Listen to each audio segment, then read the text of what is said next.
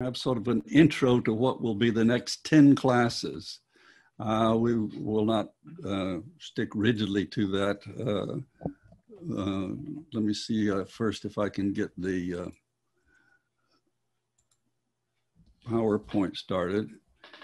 Th this class will establish for us a paradigm or a, a strategic approach to progressive revelation and uh, the very specific uh, aspects of progressive revelation.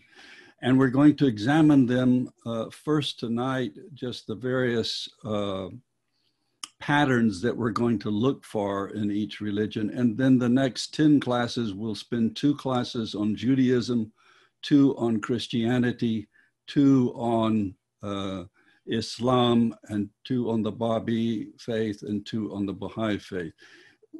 We're not going to study them in any complete way, obviously, in two hours per religion. We couldn't possibly do that. So, what we're establishing tonight are what we're going to look for as we go through those. And I'm going to give you uh, some, uh, a couple of slides at the end of my presentation to show you how to prepare for next class on uh, Judaism. So uh, our overlay or paradigm for our study of the Abrahamic religions uh, is going to consist of, first of all, the various levels of covenant evident uh, in each religion, particularly the level of covenant dealing with succession, which is called the lesser covenant in Baha'i terminology. We're going to look at the authenticity of access to the revelation itself. In other words, are the texts, the scriptures of the religion authentic? Uh, are, are do uh, they uh, pass down from generation to generation. How the manifestation complies with the proofs, powers, and perfections outlined in the Book of Certitude.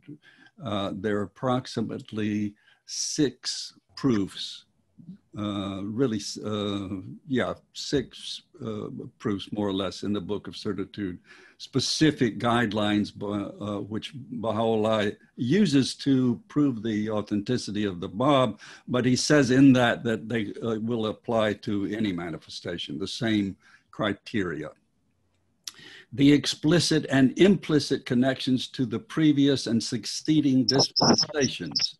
Uh, and that would be the prophecies, uh, the covenant, uh, and so on. What uh, uh, connections do we see uh, leading to that religion as a proof, and how does that religion set up for its followers cautions about how to identify the next prophet and the next religion. How the study of the religion informs or confirms and is informed by the Baha'i teachings and texts. In other words, what special things do we discover about the religion in the Baha'i text that we didn't know before or that is really stated nowhere else? And we'll sample a few of those tonight so I can show you what I mean. Miracles uh, miracles are dwelt on so uh, importantly uh, by believers in most religions. Uh, so we're going to take a look at the, what they're about tonight, uh, because we're going to find, as Abdu'l Baha says, that their outer meaning really doesn't have that much significance, but their inner meaning does. And so we'll give you some samples of how that works the foundational theology of the religion in light of Baha'i teachings and texts. And here's again progressive revelation. What does a religion believe about uh, the nature of God? The nature of theodicy, which means how do you justify evil existing in a universe presumably created by a perfect God? And so, therefore, it must be a perfect universe. And so, how do you account for what seem to be injustice and imperfections? The concept of heaven, the concept of hell, the concept of eschatology, uh, and uh, and so forth. Eschatology meaning the end times. What is the the religion's view of uh, the end result of everything that uh, we're going through historically? So we're going to focus, as, uh, as we've said before, on the five dispensations of the Abrahamic religion Judaism, whose prophet is Moses, and whose scripture, at least the scripture supposedly written by Moses, the Pentateuch. Christianity, and of course, Christianity, Christ is the Messiah, uh, viewed as the Messiah, and uh, the Gospels, uh, the, particularly the four Gospels and the whole of the New Testament, are uh, dealing with both the words of Christ and commentaries on the words of Christ by the letters to the various churches and the Acts of the Apostles and so on. Islam, of course, the prophet is Muhammad, and the work, uh, the pr- principal work is the Quran, though the Hadiths, some of them are, uh, are, are are authenticated. And so we will look at some of those, particularly when we get to the Quran, for reasons that become very important in the history of Islam. The Babi faith, of course, the manifestation is the Bab, and his principal uh, uh, two works are the Qayyum al Asma, the best of stories, and the Bayan, though he wrote many other works as well. Then the Baha'i Faith, the two principal works are the doctrinal work of Baha'u'llah, which is the Book of Certitude, and the Most Holy Book. Uh, thought this is kind of interesting. You just tossed this in. Is uh, something to observe about the uh, nature of progressive revelation and that is, on the one hand, as Baha'is, we believe that uh, this is all one process, that the, the religions on planet Earth are really one religion revealed in various cycles and dispensations, uh, and that there's a continuity there. And one of, and yet at the same time, each time uh, a manifestation appears with a religion, uh, the world is recreated and one sign of that, how seriously we take that, whether we understand it or not, is that we have a, um, we start time all over again with each succeeding religion. So this is the year 5780, uh, and that's BCE, which used to be before Christ, but now BCE is the uh, uh, non religious designation of before the Common Era. Uh, the Christian calendar, of course, begins at zero in the Common Era with the birth of Christ, though the birth of Christ is now disputed not to be zero, but that's beside the point. We still call this 2020 since the birth of Christ. The Islamic calendar uh, is 1442 AH, which means after the Hijrah, when Muhammad went from Mecca to Medina. Uh, and it begins in 622 uh, in the Common Era. The Baha'i calendar, it's the year 177 BE, the Baha'i era, uh, which began in 1844 of the Common Era. So I, I, think that's kind of interesting that even though these are continuous outpourings of the same thing, uh, time begins all over again. So we, we come to this question if it is God's plan, this plan of successive revelations or progressive revelation, and God is perfect, then his plan should be perfect. So why doesn't it work? Well, the short answer is it does, and it will. But in the midst of what we're in right now, it doesn't seem like it. And if you look at history, it doesn't seem like it has in the past. Uh, one interesting quote in that regard is what the uh, Guardian says that the Bab alludes to in the Bayan. He says, in the, this is a quote from Shoghi Effendi, in the Bayan, the Bab says that every religion was meant to be universal and also deserved to become so.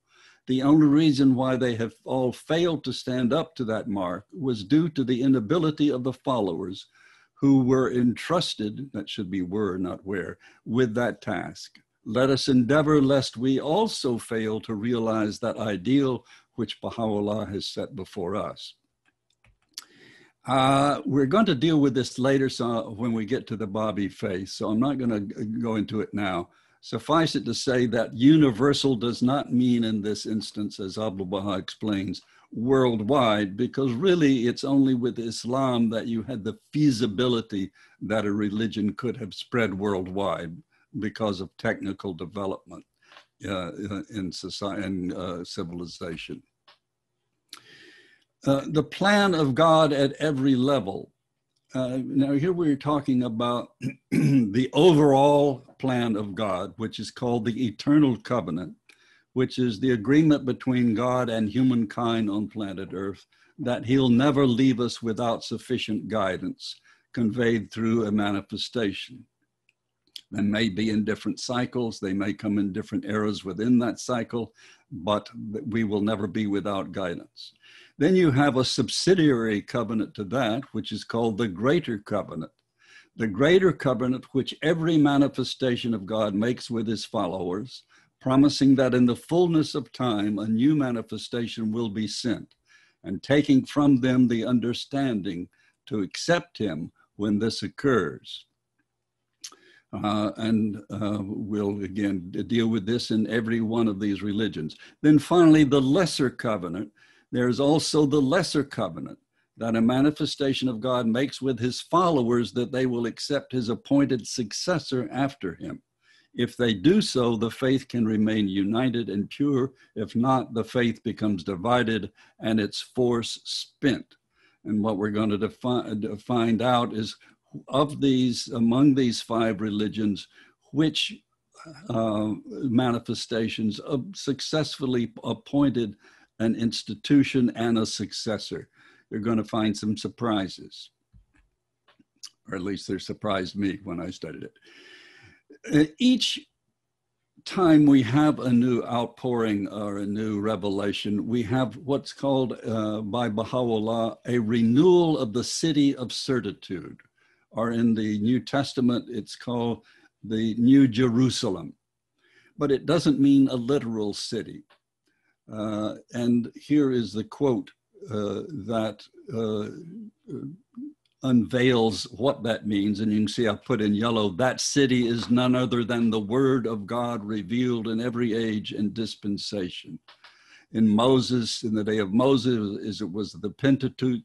In the days of Jesus, the gospel. In the days of Muhammad, the Quran in the day in this day. Now, this day he's speaking in the present tense, which was 1862 when he revealed the book of certitude. He hadn't yet identified himself as the promised one of the Babi faith. So he says, in this day, the Bayan, and in the dispensation of him whom God will manifest his own book. And of course, he later identifies himself as that one designated by the Bab as him whom God will make manifest the book unto which all books of former dispensations must needs be referred, the book which standeth among them all transcendent and supreme. So that's what the renewal of the city is. The renewal of the law uh, is uh, what Abdul Baha calls it. This is a continuation uh, of, uh, the, of, of the same quote uh, from the Iqan. Uh, he says, uh, in these cities, and again, the city of certitude, of belief, of confirmation, is bountifully, bountifully provided. Incorruptible delights have been ordained. The food they bestow is the bread of heaven. Now, this is important because we know of the use by Christ of this uh, metaphor that he was the bread come from heaven uh, and that he who partakes of me, he said, will never die. Um, Baha, I mean, Abdul Baha, as I said, calls the holy city of, and here in some answered questions, he's talking about, he's interpreting the book of Revelations. Uh, and he says, What is the holy city, the New Jerusalem that John, uh, the uh, revelator, as he's sometimes called, uh, uh, talks about in the book of Revelations, the totality of which is symbolic. Symbols, symbols, symbols. The whole thing is symbolic.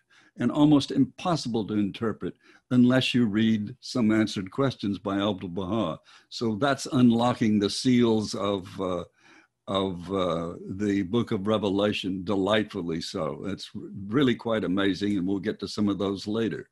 For example, it foretells the coming of Muhammad and Ali, his successor. It is the law of God which descends from heaven and is called new, for it is clear that the Jerusalem which is of stone and earth does not descend from heaven, and that it is not renewed, but that which renewed is the law of God. well, the next thing we're going to look at uh, as, uh, as we look at each religion are the main attributes of the manifestations. And so let us remind ourselves of what we've already looked at, I think, in class number two, the face of God among us. What are the main attributes of all the manifestations without exception? They are flawless in their character and actions. They do not sin, they don't make mistakes. They are infallible in their revealed guidance they are omnipotent to the extent needed and the extent needed by them. In other words, they have the power to do whatsoever they wish. That they don't do uh, what they wish is because they do what is, uh, they are told by God is appropriate at the time. They are omniscient at will, meaning they know whatever they need to know when they wish to know it. Uh, they are inherently knowledgeable. They do not, and one of the things Baha'u'llah repeats, particularly throughout the Epistle to the Son of the Wolf, but really in many places, his letters to the kings and rulers in particular, says, See if I went to any school or studied under any knowledgeable scholar. You'll find that in any city that I lived in, I did not. So, in effect, he's saying, Where did I get my knowledge? And of course, in the Tablet of Wisdom, the law, wisdom, the Lawh-i-Hikmat, he talks about how when he wishes to see a book or what's in a book, it appears before him. So he, he has at his disposal a, a wonderful uh, retrieval service uh, in his mind, uh, so he doesn't even need a, a computer screen. They are pre-existent one of the things we looked at again in class two. They live in the world of the spirit the realm of the spirit prior to their becoming incarnate uh, and uh, that's not true of ordinary human beings. We begin when our soul associates with the body during the process of conception. They are ever watchful over their followers and their religion after their earthly mission is completed. We saw this in a quote from a couple of classes ago, uh, a, a, remarkable uh, statement about uh, a Baha'u'llah made by Shoghi Effendi. And uh, that, in effect, he has more power and less constraint to assist us. Excuse me. Let me take a sip. Uh, uh, to, now that he uh, is no longer in uh, a human form than he did when he was on this earth. So, proofs of the advent of the manifestation, not the manifestations themselves, but proof that one who claims to be a manifestation, which is one of the obvious uh, signs, by the way, is they say that they are. Uh, there are many, I've had to often ask the question, well, uh, how do we know that, say, Lao Tse or, uh, or, Gandhi or whoever was not a manifestation? Well, one reason is they didn't claim to be the manifestations are very frank and straightforward about saying, I, I am a manifestation. Uh, they, they don't do it until the proper time, but they do do it. So, what are the proofs? And these are all from the uh, Book of Certitude uh, by Baha'u'llah. he says, first of all, there are uh, is a celestial foreshadowing. of course, the star uh, that appeared uh, that the Magi followed, the, who the Magi, of course, were Zoroastrians who were following their own prophecies, and they discovered the, young Christ. Um, I forget how many years old Christ was at that time, uh, but uh, it, it, it, wasn't at his birth as we see in some of the uh, displays of the uh, of the birth of Christ. There are also luminary forerunners, and that, of course, would be obvious in, say, Christ. You have John the Baptist, and uh, uh, with uh, Baha'u'llah, you have the Bab. Uh, but with the Bab, you have uh, the uh, um, Sheikh Ahmad al-Ahsa'i, you have uh, Sayyid Kazim and their writings, and they foretell the coming of the Bab and Baha'u'llah the Qaim and the Qayyum.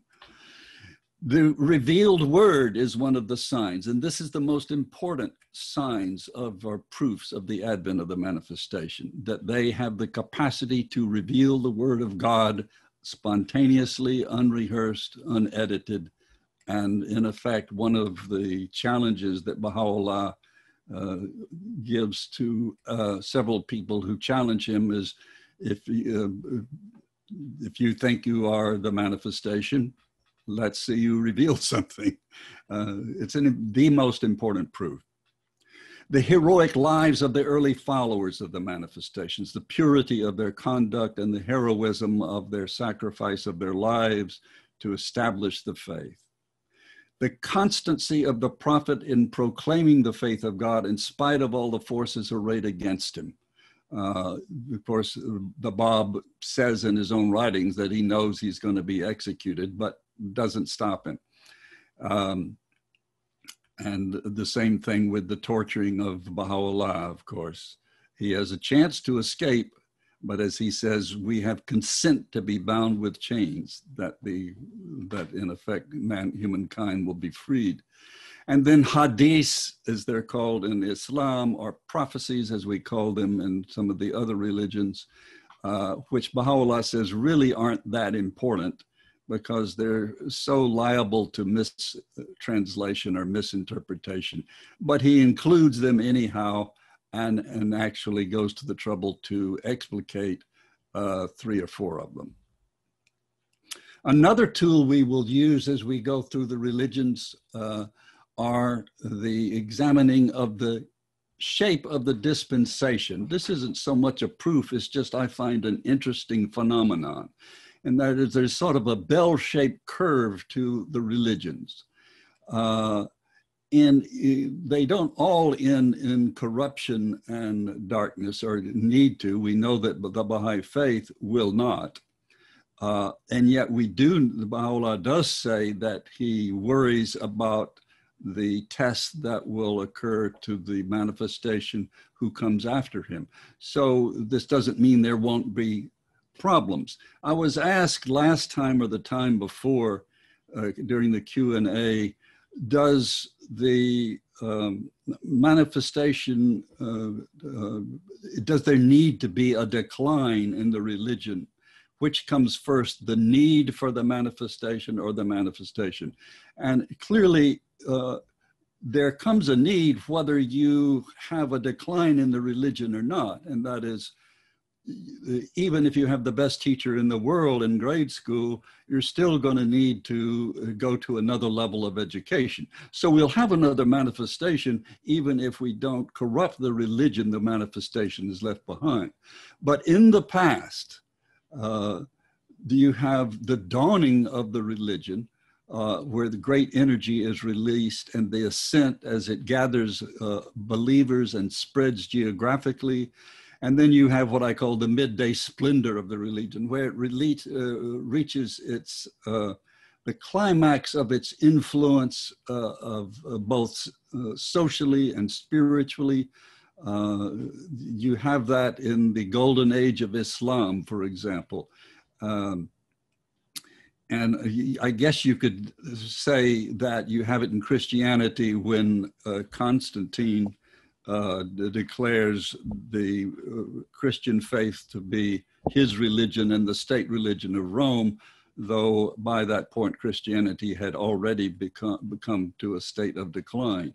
And that's uh, the next stage. You have a decline in the purity of the religion because of a number of things. One thing that the scripture becomes perverted or taken out of context or misinterpreted. And then also, of course, you have the, the, the, quest for power by the religious leaders, the corruption of leaders and divines, uh, which ultimately and almost always results in a schism in the religion. Uh, and so the religion uh, has different divisions. Uh, this happens in Christianity, of course, with the uh, uh, Reformation, but long before that, you had the Eastern and Western churches divide and so on. There are a lot of uh, other, before the Catholic Church becomes the Catholic Church, there are already divisions. And in fact, you have quarrels among the apostle, the, uh, uh, the disciples and the apostles uh, during the first century of Christianity. And then finally, the nighttime. And this is, of course, the time of darkness that we see discussed very often uh, symbolically in the poems and so forth. The, the dawning of the manifestation occurs in the darkness of the previous religion.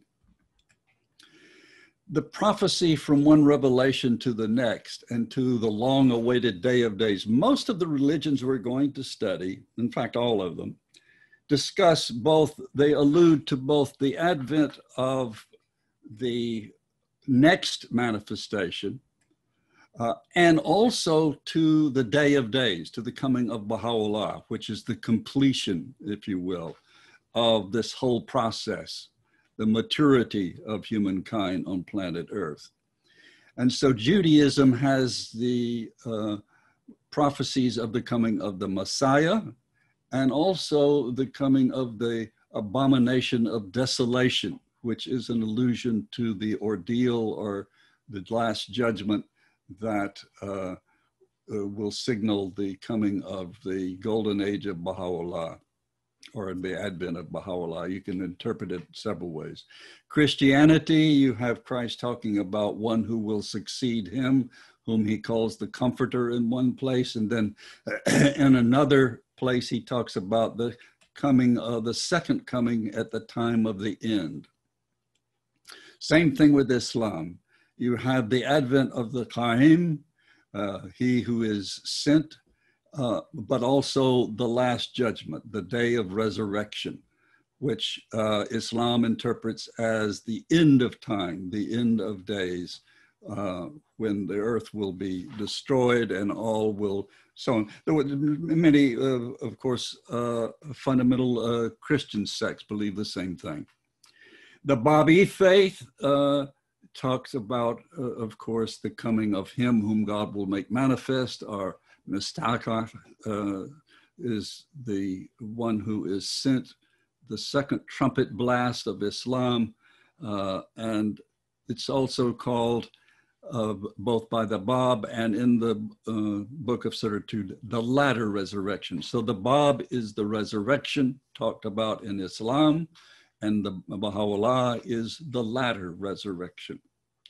So the Baha'i faith talks about the unity uh, uh, and fulfillment of this time, bringing humankind into a single planetary social order under the banner of a single religion and collaborative polity. A day not to be followed by night, and yet not until a thousand years. And even then, Baha'u'llah fears for what that one will endure or suffer. Uh, so Baha'u'llah doesn't talk about the day of days. Uh, he does uh, instead say this cycle that has begun will endure 500,000 years, though there will be many manifestations who will come in his shadow. Uh, but the important thing to remember is, as we will see later, this single planetary social order that Baha'u'llah has designed and that will come to fruition is, according to the Guardian, the furthermost limits in human social organization that you can have in a planetary system. So we must, or you, you, you don't must, but I conclude that this means any planet where this same process of progressive revelation is taking place, this same planetary structure is the final stage of development there too. Doesn't mean it's the final stage of social development altogether, because uh, we may well have some interplanetary unity that will uh, supersede the planetary unity? Don't know. Um, why the Quran in preference to the Old Testament regarding conflicting information? Um, let me take another sip of my tea. This is a statement from Shoghi Effendi. The friend should unhesitatingly and for reasons that are only too obvious give precedence to the sayings of Baha'u'llah, which, it would be pointed out, is fully corroborated by the Quran, which book is more authentic than the Bible, including the, both the New and Old Testaments. The Bible is not wholly authentic, and in this respect, not to be compared with the Quran, and should be wholly subordinated to the authentic sayings of Baha'u'llah. Uh, of course, it's understandable for a couple of reasons that we will get to when we study the Quran but simply stated, it's more recent by a more recent manifestation. And as we will find out uh, in this passage here, it constitutes the only book which can be regarded as an absolutely authenticated repository of the Word of God. And so uh, Shoghi Effendi in this letter says that the Baha'i scholars must strive to obtain from sources that are authoritative and unbiased, a sound knowledge of the history and tenets of Islam, the source and background of their faith, and approach reverently and with a mind purged from preconceived ideas the study of the Quran, which apart from the sacred scriptures of the Babi and Baha'i revelation, so, forth, is the only authenticated repository. And uh, uh, one other thing very important in this uh, about this same quote and that is that uh, uh, what we also need to do is, uh, according to Shoghi Effendi, is redeem Islam in the Western world. And by that, it doesn't necessarily mean to redeem it as it is, but to redeem it for, I would infer, the Muslim world as well. That's one of the amazing things, and it's something I've often thought about uh, because so much of the book of certitude, almost every page you will see at the bottom a note referring to a passage from the Quran. So uh, remember that Baha'u'llah's primary audience were Muslims. And so he is in effect proving to them the mean or explaining to them the meaning of their own scripture. So did the Bab. So much of the Bab's work is illuminating or elucidating uh, and explicating the surah of the Quran. Of course, the first and in, some ways the most important work he wrote, the Qayyum al-Asma, is an explication of the surah of Joseph. Uh, here's some examples where there's conflict. Isaac versus Ishmael. In the Bible, uh, Abraham is going to sacrifice Isaac. In the Quran, it's Ishmael. And that's important because as re, uh, Ishmael, of course, in the Bible uh, is expelled uh, and uh, this has nothing to do with his being sacrificed, but he is the firstborn, and it is he whom Abraham is willing to sacrifice. And Ishmael is a very important figure in the succeeding religions because it is from him that you have the descending uh, lineal descendants of Saleh and Hud and uh, uh, Muhammad uh, and the Bab and Baha'u'llah.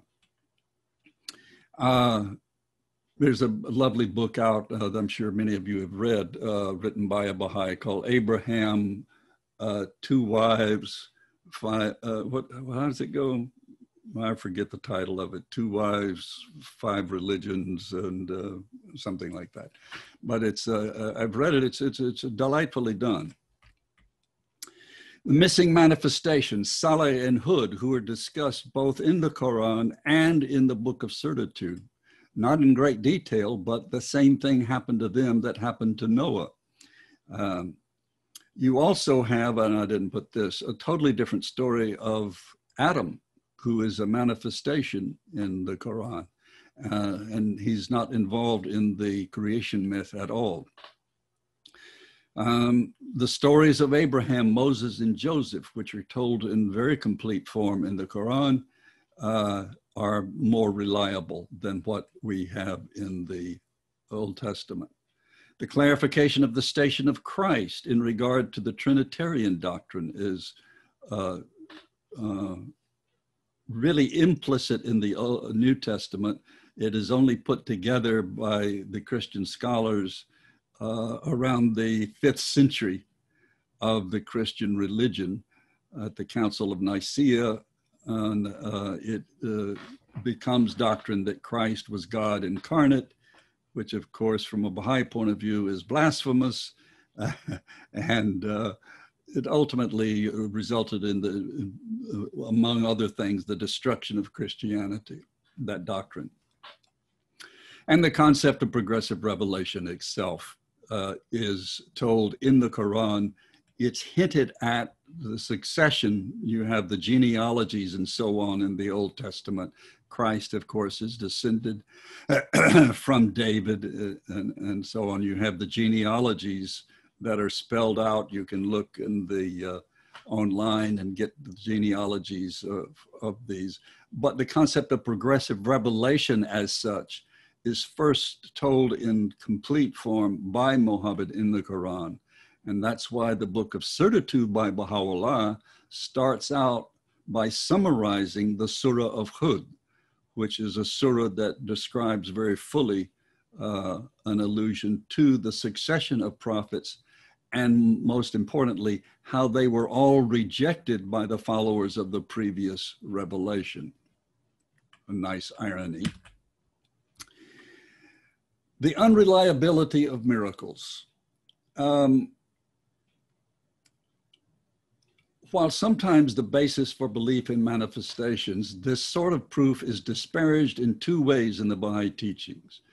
Usually they have a symbolic, not a literal meaning, uh, Baha'u'llah even goes so far in the, uh, the son of the uh, epistle to the son of the wolf to say this We entreat our loved ones not to besmirch the hem of our raiment with the dust of falsehood, neither to allow references to what they have regarded as miracles and prodigies to debase our rank and station or to mar the purity and sanctity of our name. This doesn't mean he didn't perform miracles. He's just saying that's not a basis for belief uh, and uh, if you um, uh, don't use it as a basis for teaching the faith. Abdul Baha gives a more logical, uh, not more logical, but another explanation. He says almost most of the miracles of the prophets which are mentioned have an inner significance. Now, he, he goes on to say maybe some of these things happened but a lot of them did not. They are, they, they are spiritual in nature. And he goes on to say, for instance, in the gospel, it is written that at the martyrdom of Christ, darkness prevailed and the earth quaked, and the veil of the temple was rent in twain from the top to the bottom, and the dead came forth from their graves. Well, he says, literally, if, if these events had happened, they would indeed have been awesome and would have certainly been recorded in the history of the times. Our purpose is not to deny such miracles. Our only meaning is that they do not constitute decisive proofs and that they have an inner significance, that their main, main importance is spiritual. I'm not going to read all of this, uh, but uh, he does say that uh, he doesn't wish, this is Abdul Baha, uh, Some Answered Questions, page 37. That's the old uh, version of Some Answered Question, different page in the new one. I do not wish to mention the miracles of Baha'u'llah, for it may perhaps be said that these are traditions liable both to truth and to error, like the accounts of the miracles of Christ in the gospel, which come to us from the apostles and not from anyone else and are denied by the Jews. Though if I wish to mention the supernatural acts of Baha'u'llah, they are numerous. They are acknowledged in the Orient and even by some non-Baha'is. But he goes on to say these aren't proofs. He says, uh, Uh, look at the last paragraph. Consequently, these accounts are not satisfactory proofs. Yes, miracles are proofs for the eyewitness only, and even he may regard them not as a miracle, but as an enchantment. Extraordinary feats have also been related uh, of some or by some conjurers. Finally, what is a personal God? And in other words, this is something else we want to be aware of as we go through the, the five religions in the next 10 classes. What is their concept of God? Because they don't all have or, or imply the same God or the same concept of God. And so we've talked about this before, but I want to read this again because it's so important. Uh, what do we mean by a personal God? Because uh, uh, as you'll see at the end of this quote by Shoghi Effendi, to say that God is a personal reality does not mean he has a physical form. So we don't mean that God is made, made in the image of man, but rather we are in the image of God, and even that is spiritual, not physical. What is meant by personal God is a God who is conscious of his creation, who has a mind, a will, a purpose, in other words, a being, and not as many scientists and materialists believe, an unconscious and determined force operating in the universe. Such conception of the divine being as the supreme and ever present reality in the world is not anthropomorphic, meaning not human like, for it transcends all human limitations and forms and does by no means attempt to define the essence of divinity, which is obviously beyond any human comprehension. So, to prepare for your next class, uh, I'm going to give you uh, on the same place on my website where you downloaded the quiz. Uh, I'm going to uh, include in that now a clue to each of the questions on the quiz because I've had some very nice responses and explanations for the questions, but no one yet has gotten all of them right. And there's about one word that will clue you into what the Baha'i view on these questions is about. Uh, any rate, as you be prepared for the uh, next class, keep in mind that God is a, a, a, God of logic and love. These two qualities. Uh, the logic, never forget that everything God does has a purpose, and that it is our job to try to discern what that logic is, whether it's his laws, uh, or his teachings on any other aspect of theology. So if you look at the, the, the book of laws, the Kitabi uh, Aqdas, the, the most holy book, and you see a law and you think, that sounds strange. Uh, I, I'm not sure I agree with it, uh, but, but I know I have to because it's from God. but there is a logic to it. See if you can discover what it is. It's a lot of fun. A lot of them, of course, depend on a society that is yet to be born, uh, and they would not be operant or even feasible or even good right now. The changeless spiritual law. And I'm not going to read this either, but suffice to say, this is something we've talked about before, and that is there are two types of law that the manifestations bring. One is the spiritual law, which does not change. Uh, notice uh, he says the, that each of them, he says, this, oops, excuse me, here. Well, I can't do it. This does not change or alter the spiritual law. What was spiritual a thousand years ago is spiritual today. The ways of implementing them do, do change. These divine qualities, these eternal commandments will never be abolished. But the social law evolves. The second part of the religion of God, which refers to the material world and which comprises fasting, prayer, forms of worship, marriage, divorce, the abolition of slavery, legal processes, transactions, indemnities for murder, violence, theft, and injuries.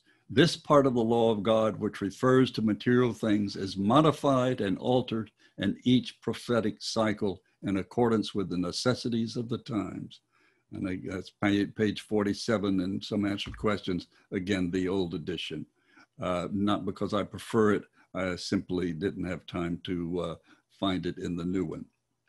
I had time, but I, I didn't do it. Here's, here's something that uh, you may want to, do. it's a wonderful what you have at your fingertips with your computer. This is just something I pulled from uh, going on Google and saying, uh, show me a chart that shows me the structure of the Old Testament because there are 49 books in this thing. Uh, and this is so helpful because it shows, of course, the part that was revealed by Moses, uh, and it shows how they're set off, the prophets, the writings, the other, the other parts, and so on. Uh, chronologies are so helpful. This is a chronology that each one is a hot link that you can go, well, the flood. Uh, I can click on that and it will go to uh, an online site that will tell me about the flood. And there it is right. Well, if I had a, there it is, okay, the flood. And all of these things, the year Shelah was born, so on. So at any rate, uh, uh, going to the chronology, uh, uh of the Old Testament uh, begins uh, Adam to the flood, so on. So that these are all sorts of helpful things you can do in studying Judaism. And so, with this beautiful, beautiful picture of the walk to the door and end. And let me stop sharing, take a breath, and we'll have a, about 10 or 15